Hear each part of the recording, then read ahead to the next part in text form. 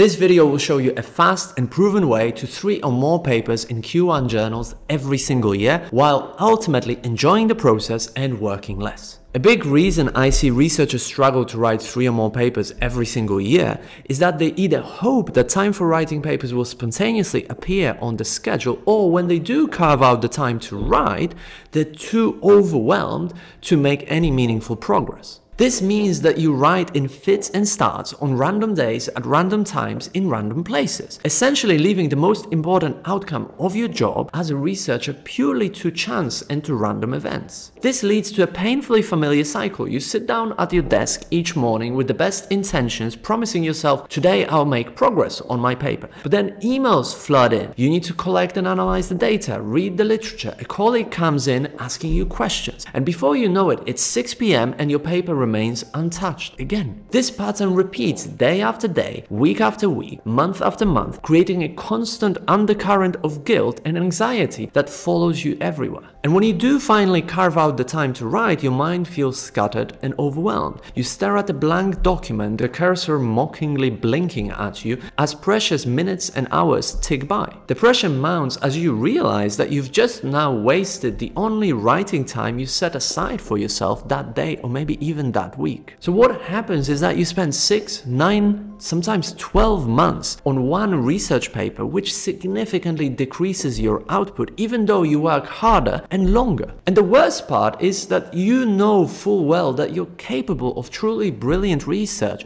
if only you could break out of this vicious cycle. That's why the first crucial step to three or more papers every single year while working less and actually enjoying the process is having a proven plan, both short and long term. First of all, you need to make a plan for the whole year in which you will specifically allocate time for writing these papers and you need to ensure that writing three or more papers fits into your other duties such as teaching or any admin work and everything else that you've got going on as a researcher. And the best way I've found to do this is through an Excel sheet and a planner like this on which you would put the dates, the overall goal for the year, semesters, break down the overall goal into semester goals and then you specify what actions need to be taken in order to achieve those intermediate and long long-term goal. And then you map everything out onto the specific months to really think how you're going to allocate time for writing papers, researching, collecting the data and everything else that you need to do on top of, for example, lecturing. So now that you have a more long-term plan and long-term time allocation, you also need to be very strategic about what happens every single day. Otherwise, I guarantee that days will pass by one after another, turning into weeks and then months without you making any sort of meaningful progress towards your papers. And the best way I've found of doing this is through a daily research planner, just like this. The idea is that at the end of the previous day, you sit down and you plan in advance what's going to happen the next day, always keeping your goals in mind. So it has to be very intentional. And then you sit down and you specifically plan what goals you have, what tasks you're going to do tomorrow, and then you schedule everything onto your calendar and then you stick to it. And then at the end of the day, you evaluate your progress and what you can do better tomorrow, and then you plan the next day. If you follow this, you will become way more productive than the vast majority of researchers in your field. But let's be honest, you can have the best plan in the world, be highly productive, but unless you're going to work on high impact research ideas, you'll only publish in mediocre journals and fail to make that contribution and impact that you want to make. Your papers will likely be rejected from top journals due to insufficient contribution to the field, which means you will waste endless months, if not years, on resubmissions. Not to mention how demotivating all this will be. And most researchers, though, lack a proven process for coming up with high impact research ideas. Most researchers wonder how this small pool of researchers comes up with those groundbreaking ideas that get them published in the best journals time and time again. That's why if you want to be among that top 10, 5, 1% of researchers in your field, you do need a systematic process for coming up with groundbreaking research ideas that will get you published in the best journal. And here's a breakdown of that process. First of all, the most obvious step is to look for research gaps, that is, lack of research on a particular topic or geographic area or so on. Lack of research consensus, meaning a lot of research has been conducted, but researchers disagree as to what's actually going on. Limitations of previous studies, problems with previous studies, in other words. And number four, unresolved practical or research problems. So, what you need to be doing then is systematically writing these ideas as you review the literature and writing those research gaps down and keeping track of everything so that you can then derive creative ideas for new studies from that. And a very simple way of doing that that I found works really, really well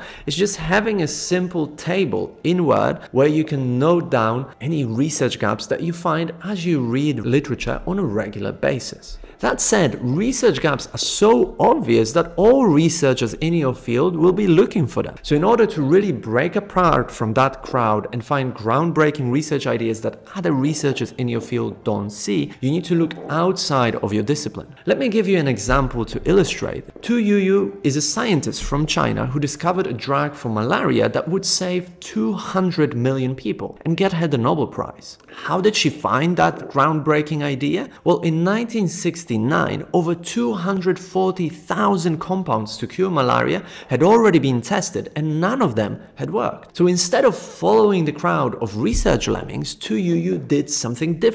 She studied ancient Chinese medical texts going back thousands of years. And she found one text from 400 AD in which she came across a reference to wormwood, which at the time was used to treat intermittent fevers, which is a symptom of malaria. To cut the long story short, the active component from wormwood that she discovered, artemisinin, has since been used to save millions of lives. And of course get to you the Nobel Prize. So what you also want to do, aside from the research gap, you need to look outside of your discipline. And number three, what you also need to do is use practical or professional experience in order to find research topics that other researchers don't see. This is how I published one of my papers in a journal that's number 5 out of more than 1000 journals in my discipline, making it the top 0.5% of all journals, when Q1 journals are just the top 25%. How did that happen? Well, one day I was sat in a meeting of coursebook authors and editors I was working with on a coursebook for teaching English. And as I sat there, I suddenly realized that it was quite odd that everybody in the room, apart from one person, was white. And also 90% of the people in the room were native speakers from the UK or the US. And I started wondering, is it the case just for the course book that we were writing, or is it the case for most course books for teaching English? I already knew from having explored the literature that nobody had worked on that idea previously. So I knew I had something novel there, but it wasn't reading the literature that gave that creative idea. It was actually the practical and professional experience that sparked that fire and allowed me to publish in one of the top, top journals in my field. But look, none of this is going to work unless you actually block time in your agenda for finding those high impact research topics. So pause this video right now and block a time once a week, once a month, whatever is feasible for you to explore the literature, to explore the literature outside of your field, explore practical professional experience in order to find high impact topics. And now look, you can have the best research ideas in the world, but unless you have a proven system that allows you to write papers efficiently, your papers might still either be rejected or you will spend months and months rewriting the papers constantly and getting stuck on every single paragraph. And the truth is that for most researchers, writing papers is a painful and time-consuming process. Blank Word document mockingly stares at you for hours. You write and endlessly rewrite paragraphs without ever finishing what you started. And I think the problem is that many researchers approach writing a new paper as if it was something completely new that had to be written completely from scratch. And while on the surface it might make sense, after all it is a different paper and a different research idea, if you analyze it in more depth, it doesn't make any sense whatsoever. Because most papers in most disciplines follow a proven predictable structure for each section of the paper. And in addition, since you're specializing in a very specific topic in a very specific narrow area, that structure will be even more predictable and more repeatable. And the language you will use will also be quite predictable and quite repeatable. If you were to analyze your own past papers or papers in your discipline on one specific topic, you'd find that the researchers time and time again use very similar phrases to express their research ideas. And same goes for content, since many of your papers will be connected to one another and will focus on one specific research topics,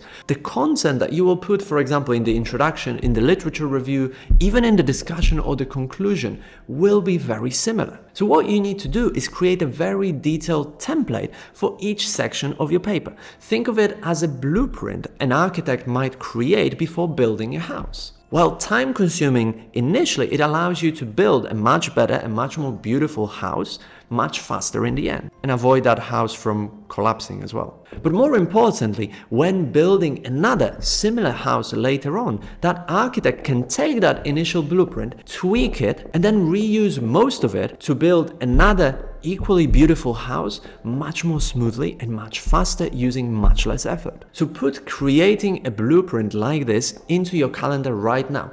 Block an hour for this or two hours, however much time you think is needed, but make sure it's in your calendar because otherwise you will never create it. And while initially you need some time to do this, over the long term, if you're planning to do 10, 20, 30 papers over the next 10 years or so, this will be a fantastic investment of time right now. And if you want to speed up the process further, you can head to our free community. The link is in the description. When you go to the community, you will see our research paper blueprint that I've already developed for you right here at the top of the community. On top of that, you can head to the classroom and then in module one, you will find our proven process for structuring your paper, writing an introduction, but also for finding high impact research ideas. Now that you have a system for writing three or more papers every single year, let me show you how you can leverage your productivity even further by ethically using AI tools to write research papers. So watch this next video for 17 ways in which you can use AI tools ethically to write research papers for Q1 journals.